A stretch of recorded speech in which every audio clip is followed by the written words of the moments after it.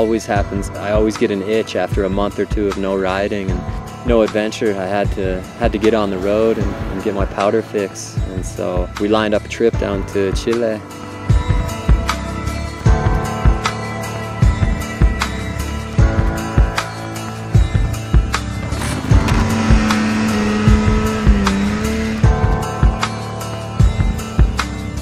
So it's just it was amazing to be able to hop on a snowmobile with Dos Tiempos and be able to go explore the Andes.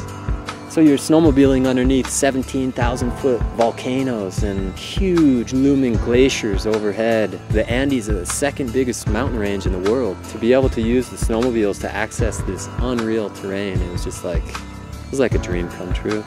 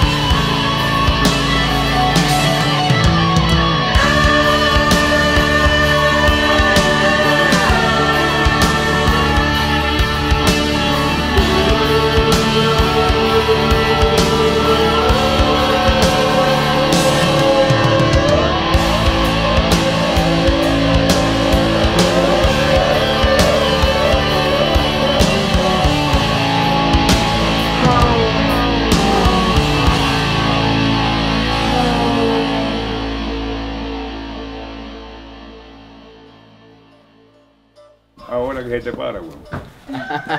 Ahora.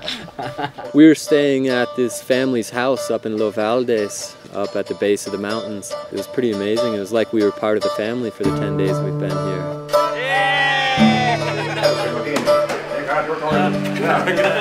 They were just amazing to us. They helped us out so much.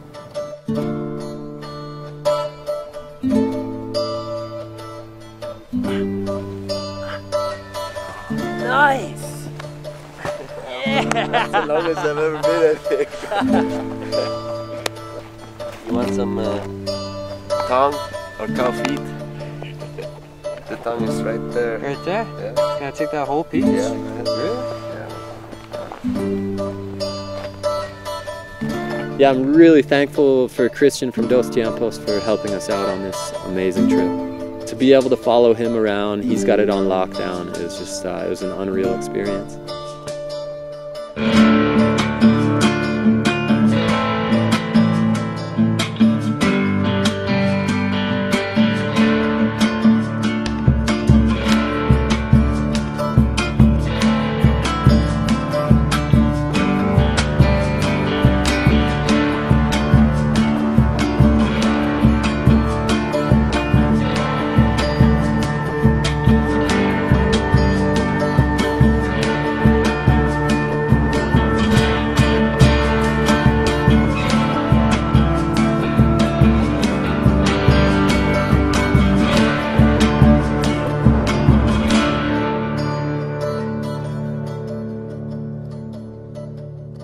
To be able to explore this place that very few people, I think, have ever explored. One of the better experiences I've ever had in my life.